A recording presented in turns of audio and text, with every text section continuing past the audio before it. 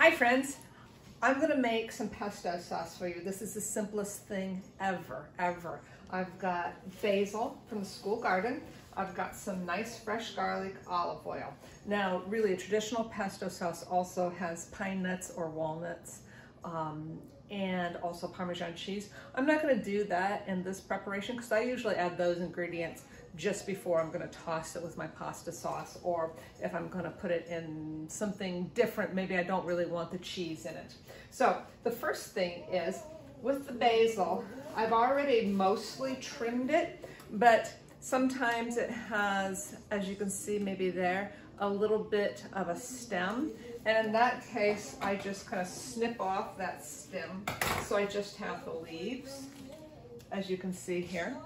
So I have my bowl of leaves that are all ready to go here. And with the garlic, by the way. The garlic, as you can see, this is a head of garlic. You want individual cloves of garlic, that's the small parts. And it has that papery covering on it.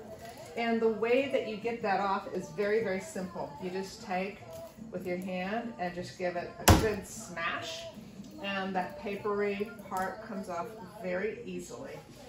Sometimes I go ahead and I cut off this very tip of it, the root tip, if it seems kind of hard. And then I'm just going to chop that a couple of times. I've got a few pieces, other pieces of garlic here all ready to roll. And I just maybe cut it in half. What we're gonna do is we're gonna whir up the garlic with the olive oil here first.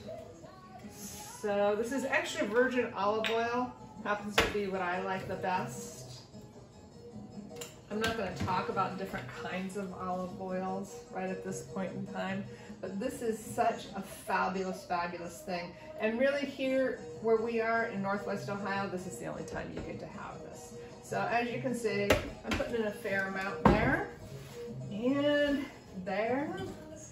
my basil. I'm gonna kind of pack it down a little bit. And then I'm gonna turn it on. This is my Cuisinart food processor.